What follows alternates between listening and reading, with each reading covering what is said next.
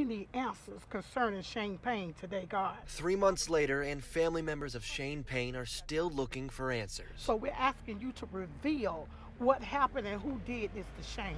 We're asking you, God, to uncover the masked man.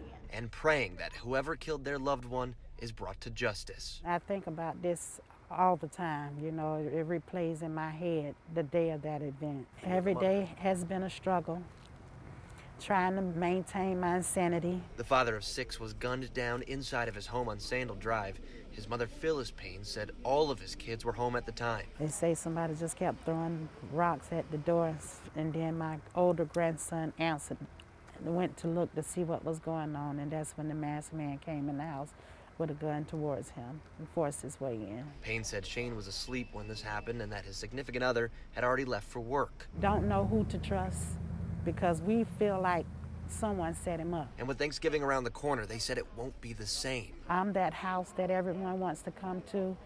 My son' presence has always been a blessing to us, and we would not have that. JSO told me the case is still an active investigation, saying if anything further is releasable, they'll get it to me. Families hoping this case doesn't go cold.